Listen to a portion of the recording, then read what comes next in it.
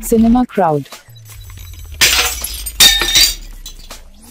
Sun டிவியில் பல சுவாரஸ்யங்களோட போயிட்டு இருக்க நந்தினி சீரியல்ல இன்னைக்கு எபிசோட்ல என்ன நடந்தது அப்படின்றத பத்தி தான் இந்த வீடியோல நம்ம பார்க்க போறோம். அரண்மனையில புதுசா வேலைக்கு சேர்ந்த அந்த வேலைக்காரி இறந்து போயிடுறாங்க. அவங்களும் கங்காவோட அப்பா எப்படி இறந்து போனாரோ பாம்பு கடிச்சு அதே மாதிரி தான் இவங்களும் இறந்து போயிருக்காங்க. அதனால எல்லாரும் என்ன நினைக்கிறாங்க? நந்தினி தான் இவளையும் கொண்டு இருப்பாளோ அப்படின்னு சொல்லிட்டு எல்லாருமே யோசிக்கிறாங்க. வீட்டுக்கு போலீஸ் வந்து விசாரிக்கிறாங்க. யாரு எதனால இவ இந்த பொண்ணு இறந்து போனுச்சு அப்படின்னு சொல்லிட்டு நடந்த எல்லா விஷயத்தையுமே கேக்குறாங்க. வீட்டுல நடந்த எல்லா விஷயத்தையுமே அவங்களும் சொல்றாங்க. இந்த மாதிரி இவங்க அப்பாவும் இந்த மாதிரி தான் இறந்து போனாரு பாம்பு கடிச்சு அப்படின்னு சொல்லி சொல்றப்பதான் சரி நீங்க வீட்டுக்கு முன்னாடி இருக்க அந்த புத்தை இடிச்சு தள்ளுங்க அதுல இருந்து தான் பாம்பு வந்து கடிக்குதுன்னு நினைக்கிறோம் அப்படின்னு சொல்லிட்டு அவங்க போயிடுறாங்க. ராஜசேகருக்கு ரொம்ப கோவம் வந்துருது. இந்த புத்துனாலதான் இவ்வளவு பிரச்சனையும் நடக்குது அப்படின்னு சொல்லிட்டு வெளியில இருக்க அந்த புத்தை இடிச்சு இடிச்சு தரமட்டமாக்குறதுக்காக போறாரு.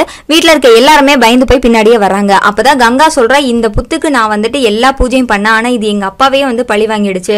இனிமே நான் வந்து இந்த புத்து இங்க இருக்க விட மாட்டேன். நீங்களே இடிச்சு இல்லாம பண்ணிருங்க அப்படின்னு சொல்லிட்டு சொல்றாங்க. அவரும் அதே மாதிரி அதை இடிக்கிற அழிக்கிறதுக்காக போறாரு. அப்பதான் நம்பூதிரி சொன்னது எல்லாமே அவருக்கு ஞாபகம் வருது. இந்த புத்து இருக்க வேண்டிய இடத்துல இருந்தா மட்டும்தான் நம்ம பண்ண எல்லா பிரச்சனையிலிருந்து நம்மளால தப்பிக்க முடியும் அப்படின்னு சொல்லிட்டு சொல்றாரு. அதனால அவர் என்ன பண்றாரு? இல்ல நான் இதை இடிக்கல அப்படின்னு சொல்லிட்டு நெஞ்சு வலி வந்த மாதிரி ஆக்டிங் பண்ணி அங்க இருந்து போயிடுறாரு. இங்க நடந்த எல்லா விஷயத்தையுமே காயத்ரி என்ன பண்றாங்க? நந்தினி கிட்ட போய் சொல்றாங்க. அப்பதான் நந்தினி சொல்றாங்க இது எல்லாத்துக்குமே காரணம் வந்து மாயசக்தி தான். அந்த குதிரை யாரு அப்படின்றத நம்ம கண்டுபிடிக்கணும் அப்படின்னு சொல்லிட்டு சொல்றாங்க. இத பத்தி தெரிஞ்சுக்கிறதுக்காக நான் ஒரு முனிவரை போய் பார்த்தேன். ஆனா அவரையும் வந்து பஸ்பமாக்கிடுச்சு.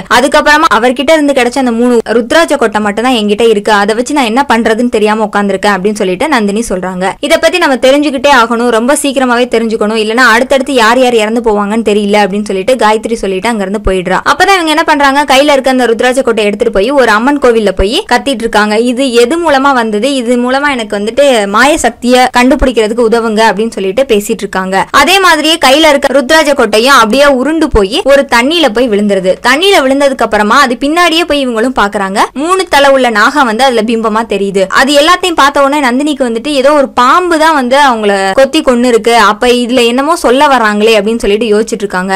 இத பத்தி இன்னும் நல்லா தெளிவா தெரிஞ்சுக்கணும்னா சேநாயகி அம்மா கிட்ட தான் நம்ம போகணும் அப்படின்னு சொல்லிட்டு அந்த மூணு ருத்ராஜ கொட்டையும் எடுத்துட்டு அந்த ஐயாவோட அங்க போறாங்க. அங்க போறப்ப சேநாயகி அம்மா அங்க இல்ல. அவங்களோட சிசியர்கள் தான் அங்க இருக்காங்க. அப்பதான் வந்துட்டு அம்மா இல்லனா இந்த இடத்துல வச்சு நாங்க என்ன வேணுமோ அதை நாங்க கேட்போம். அதுக்கு வந்து பதில் எங்களுக்கு கிடைச்சிரும் அப்படின்னு சொல்லிட்டு சொல்றாங்க. அதே மாதிரி நந்தினியும் அந்த முனியப்பனும் உள்ள போறாங்க. அங்க இருக்க அருவா குதிரை கருப்பு இது எல்லாத்தையுமே பார்த்த உடனே முனியப்பனுக்கு ஒரு விதமான ஒரு உணர்வு தோணுது. ஒருவேளை இவங்க தான் வந்து காலச்சக்கரத்தை அடையிறதுக்காக இந்த மாதிரி மாயசக்தியா வேஷம் போட்டிருக்காங்களோ? குதிரையில வர்றது வந்துட்டு கருப்பனா மட்டும்தான் இருக்க முடியும் அப்படின்னு சொல்லிட்டு அவங்க யோசிக்கிறாங்க. இது எல்லாத்தையுமே யோசிச்சது மட்டும் இல்லாம நந்தினி கிட்டையும் சொல்றாங்க. சேனாகி அம்மா தான் இந்த மாதிரிலாம் பண்றாங்கன்னு எனக்கு தோணுது அப்படின்னு சொல்லிட்டு சொல்றாங்க. இது எல்லாத்தையுமே கேட்டோன்னா நந்தினி இல்ல அவங்க அப்படி பண்ண மாட்டாங்க. அவங்க எப்பவுமே நியாயத்துக்கு புறம்பா எதுவுமே பண்ண மாட்டாங்க. அப்படின்னு சொல்லிட்டு சொல்றாங்க. இவங்க ரெண்டு பேரும் பேசிட்டு இருக்கதை எல்லாத்தையுமே கேட்டுட்டு அங்க இருக்க அந்த கருப்பரோட அருவாள்ல இருந்து எலுமிச்சம்பழம் கீழே விழுந்துட்டு அந்த அருவாள்ல இருந்து ரத்தமா கீழே வடியுது. அதை எல்லாத்தையுமே நந்தினி பார்த்துட்டு ரொம்ப ஷாக் ஆயிடுறாங்க. அதோட இன்னைக்கான எபிசோட் முடிஞ்சிருக்கு. நாளைக்கு எபிசோட்ல என்ன நடக்க போகுது அப்படின்றத அடுத்த வீடியோல பார்த்து தெரிஞ்சுக்கலாம். இந்த சீரியலை பத்தி நீங்க என்ன நினைக்கிறீங்க அப்படின்றத கீழே இருக்க கமெண்ட் பாக்ஸ்ல உங்களோட கமெண்ட்ஸை சொல்லுங்க. மேலும் இது போன்ற வீடியோக்களை பார்க்க சினிமா கிரௌட் சேனலை சப்ஸ்கிரைப் பண்ணுங்க. கூடவே இந்த பெல் ஐக்கான கிளிக் பண்ணுங்க. புது புது வீடியோக்கள் எல்லாம் உங்க மொபைல்ல நோட்டிபிகேஷனா வரும்.